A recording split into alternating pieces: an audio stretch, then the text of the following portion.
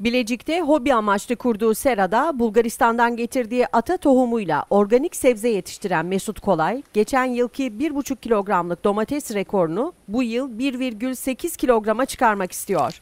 Bilecik'in Pazaryeri ilçesine bağlı Gümüşdere köyünde tarlasına kendi imkanlarıyla hobi amaçlı 300 metrekare sera kuran Mesut Kolay, Bulgaristan'dan 9 yıl önce getirdiği ata tohumlarıyla organik sebze yetiştiriyor. Serasında domates, patlıcan, salatalık, kabak, biber yetiştiren Mesut Kolay, yetiştirdiği sebzelerin tohumlarından her yıl yeni fideler üretirken, serasında ve tarlasında hiçbir zaman suni gübre kullanmadığını, sebzelerinde doğal hayvan gübresi kullandığını belirtti.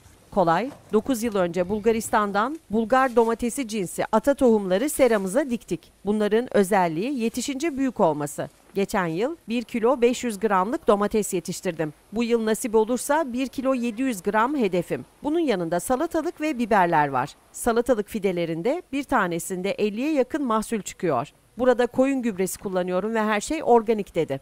Ürettiği sebzeleri kendi ihtiyacı için kullanan ve komşularıyla paylaşan Kolay, köylerinde hava şartları dolayısıyla çok zirai donla karşılaşıldığını ve sebzelerinin yandığını, bu nedenle tarlasına sera kurduğunu söyledi. Zorunda kalmadığımız sürece kullanmayız. Sizin yaklaşık 9 sene önce bütün ata tohumlarını bu farklı bir cins ama mükemmel lezzet olduğunu yani biber domatesi diye geçiyor bizde. Ben bunları bir ilk önce dikimini 5 Mart'ta yaptım.